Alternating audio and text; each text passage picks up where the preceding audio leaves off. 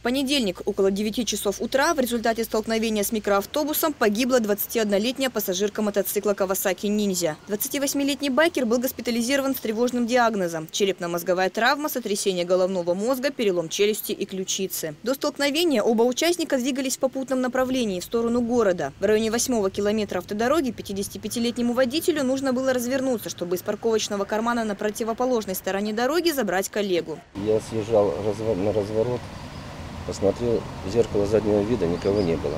Спокойно поворачиваю, поворачиваю голову, а он уже меня это сам бьет. Вообще он, скорость была, видимо, сильная, потому что даже вон по следам посмотреть, двухтонный HiAce развернуло, тащил он меня. После удара в бок мотоцикл опрокинулся, девушка отлетела в кусты, наездник на обочину. Очевидцы утверждали, что байкер двигался с огромной скоростью. Я вот здесь вот стояла и видела, как он начал разворот и на, на очень большой скорости. Ужасно, они летели как пуля, я не знаю, куда летели. 45 минут не было скорой, но это вообще страшно.